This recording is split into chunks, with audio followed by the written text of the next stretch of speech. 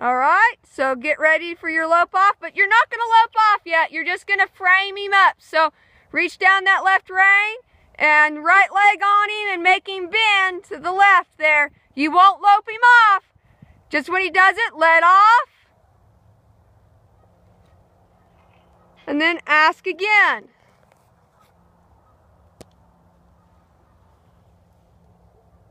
And ask again, not so much rein. Remember, it's leg that does it. It's not reins. Reins only come in if he doesn't listen.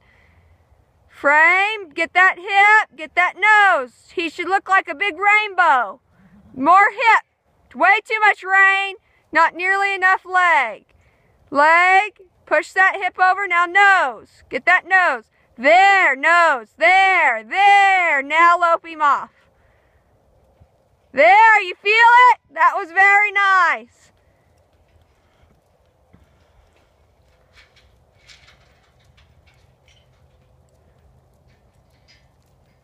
Good, slow him down.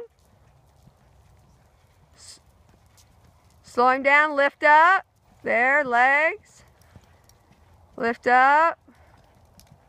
Good. Slow him down. Way more, way, way, way more, more, more, more. More. More, more. There, keep legs on him when you do it. More, more, more. More, more. Yep, more. Slow him down more. Collecting more, more, more, more. You're not using enough leg. Leg and slow him down. Leg, slow him down. Legs. Keep that leg on him all the way through the slow down. Slow him down with right leg on him. Slow him down, Mom. Well, pull. You need to use your hands and your legs then. Use your legs and use your reins. Using them in combination. Take a hold. Hold him. Take a hold of him. Outside leg. That's why he's slowing down and stopping is you not got enough leg on him. When you take a hold of him, you need to have legs. Slow him down more. Slow him down. Good. Nice. Collecting. Collecting. Use your reins. Collect him. Collect Collecting now. Good. Nice. So this one you'll stop on. Don't do anything different. Don't stiffen. Relax. Nice.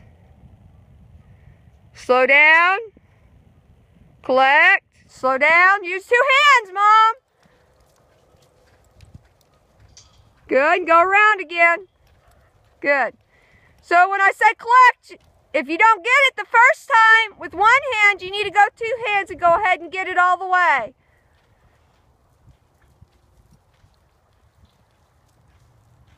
Good. Very nice there. Now lower your hand and leave it alone. Slow him down. Good. Keep him slow all the way. Slow him down. Two hands. Good. Now get ready. Cluck, cluck. And whoa.